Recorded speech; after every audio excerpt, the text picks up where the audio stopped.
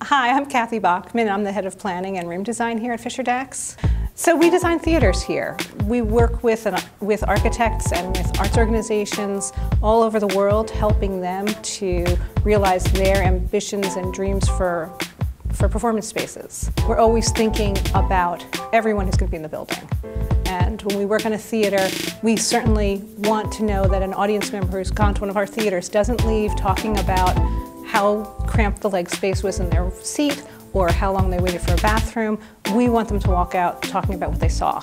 And so when we help architects work, we really help guide them through the challenges that they're going to find in this building typology. Sometimes they have a lot of experience, sometimes they don't have so much with the building typology, and so we're here to answer their questions, support their work, move the design forward in a way that makes great space for audience members, um, artists, and um, staff of all of the projects we work on. When we're designing a theater, we're always going to start with the section because that's what, what's going to determine um, how the room works, how the room's experienced, and it's going to really address the needs of everyone, the audience as well as the artist who's going to use the space. We help to set the parameters for what the building can be or needs to be. That might involve helping a client write a program, which is spelling out how much square footage you need for everything.